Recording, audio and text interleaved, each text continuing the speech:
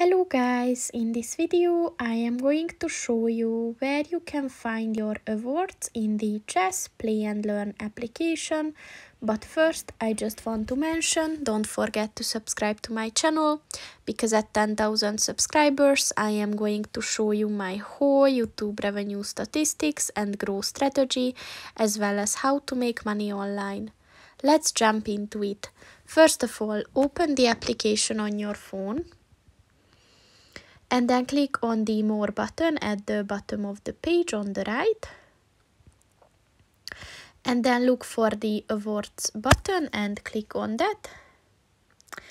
And as you can see out of the 96 achievements I have one.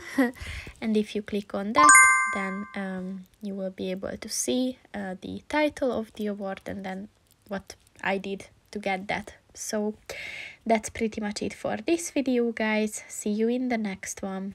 Goodbye